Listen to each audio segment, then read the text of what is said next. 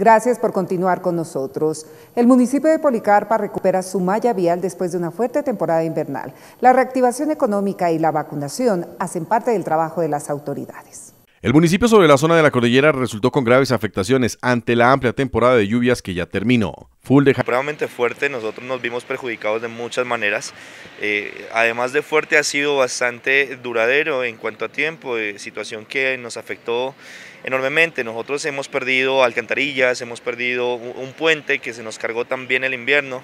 Eh, el municipio se declaró en emergencia eh, a, raíz de estos problemas, pero pues gracias a Dios eh, los tiempos van mejorando, así las cosas ya desde la administración hemos podido avanzar nuevamente, hemos ya recuperado en muy buen estado el tramo vial entre Policarpa, eh, Remolino, Policarpa Ejido, eh, eh, Policarpa Restrepo, Restrepo las, las veredas de la zona dentro de este corregimiento están en perfecto estado. Se ha hecho un trabajo importante en la vía que comunica con el puente de Puerto Rico que se está construyendo ahorita, vía que comunicará con el Peñol y el Tambo.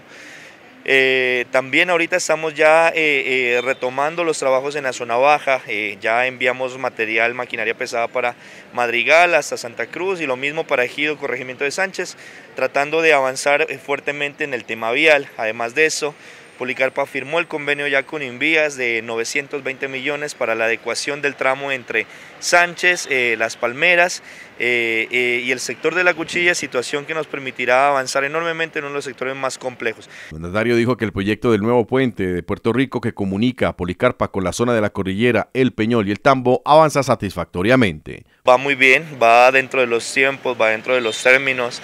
Se hacen dos trabajos alternos, el primero que tiene que ver con la ejecución en territorio, que tiene que ver ya con las bases, con todo lo que tiene que ver la estructura, los muros de contención y demás, pero también hay un trabajo importante que se está haciendo eh, eh, y es el armado de toda la estructura metálica, que esto se lo está haciendo en la ciudad de Pasto. Eh, en efecto, las dos avanzan de muy buena manera. Sabemos que va a haber un salto en cuanto a la ejecución. Más o menos ahorita estamos alrededor de un 20% de ejecución, pero en el momento en que esta estructura metálica se instale en el territorio ya, va a, dar un cambio importante y se va a poder avanzar de un 20 a un 30% y subirse a un 70 a un 80 aproximadamente. Los tiempos son muy buenos, avanzamos eh, firmes eh, en la ejecución de este importantísimo proyecto. El mandatario asegura que la situación del COVID-19 ha afectado considerablemente a la ciudadanía. Este municipio avanza durante estos días en la implementación del Plan Nacional de Vacunación Es supremamente complejo. Recordemos que los municipios de la cordillera salieron de, estas eh, manifestaciones pacíficas que hubieron en Panoya. Eso agudizó la problemática de, en un importante porcentaje. Municipios como Policarpa, el Rosario se vieron muy afectados.